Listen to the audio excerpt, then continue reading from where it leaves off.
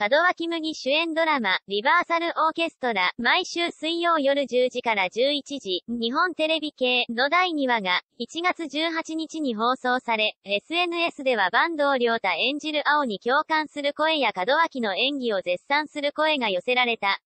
坂東良太、葵が、夢を追う難しさを打ち明ける。第2話放送中に SNS では、葵くん、泣ける、と声が続出、お金がかかる音楽という夢を追い続けることの難しさを吐露するシーンでは、自身の体験と重なるとの共感も寄せられた。また谷岡初音、門脇が庄司層、ワンドを儲けに戻るよう説得したシーンでは、門脇の演技を絶賛する声も、青が、マエストロ、徴用、佐中圭に何度も演奏を求められるシーンにも、頑張って、と声援が起こった。1話に続いて見せた徴用、田中圭の笑顔には、毎回笑顔にやられてしまう、との声が続出。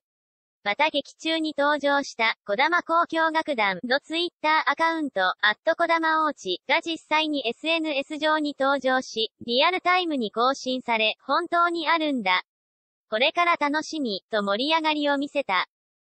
まるまる、門脇麦、初音、と坂東良太、葵の同居生活が始まる第3話あらすじ。1月25日、水曜日放送の第3話では、初音と青の、谷岡家での同居生活がスタート。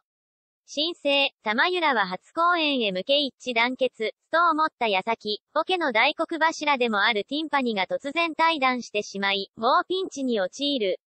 本番まであと4日という中、初音は朝日から、大至急ある人物をスカウトしてくるよう命じられる。